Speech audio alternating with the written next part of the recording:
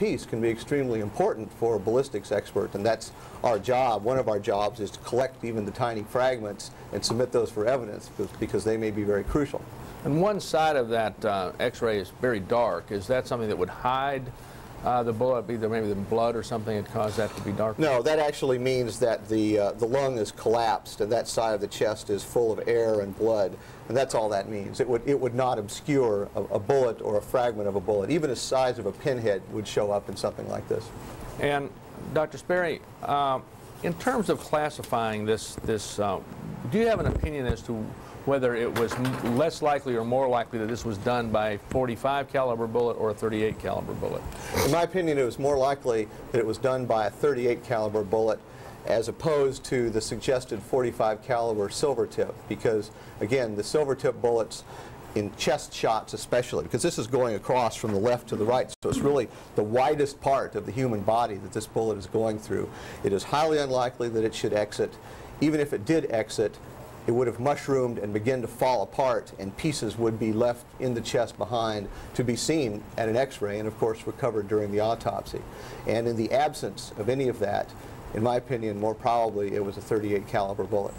Now you have seen the um, report that was given by uh, Dr. O.C. Smith, the medical examiner who reviewed this case uh, for the purpose of the clemency hearing. Yes. Uh, and he said that, uh, that the wounds could have been made by the Winchester 45.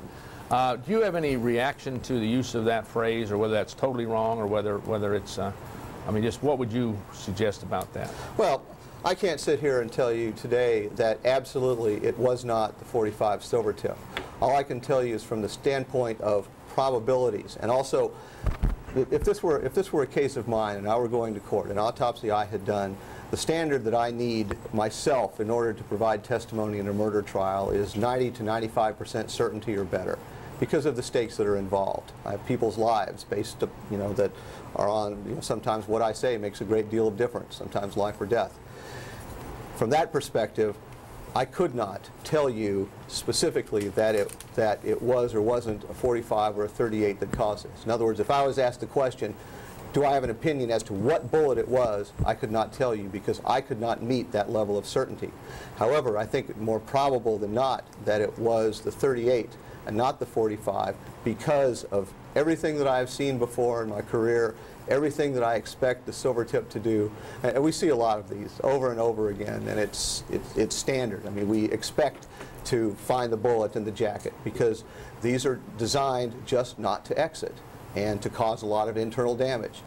Without finding these things up in, in the x-ray here, and nothing of course was found during the autopsy, it would lead me to believe that this was not the 45 silver tip. Thank you, Doctor. I appreciate your, your testimony. Thank you. And I'll Thank you, gentlemen. turn it back to Mr. Dorsey. Thanks. Thank you, sir. You're welcome. Mr. Wilson, I believe the rules that you asked for were everyone was to remain silent during this. Yes. Would you please instruct the people in the back of this room to maintain the silence?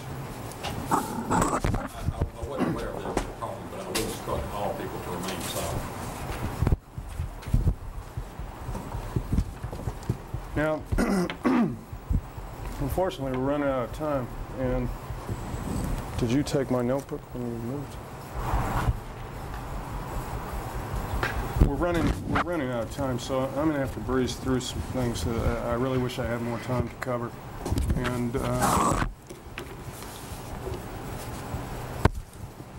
a lot of this, I, I really I would request that the governor take a careful look at the submissions we've made in this because a lot of the information that I just have to kind of breeze over is in there in depth.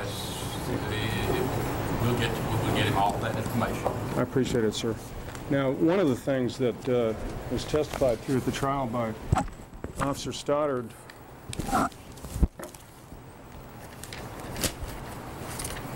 Officer Stoddard uh, testified that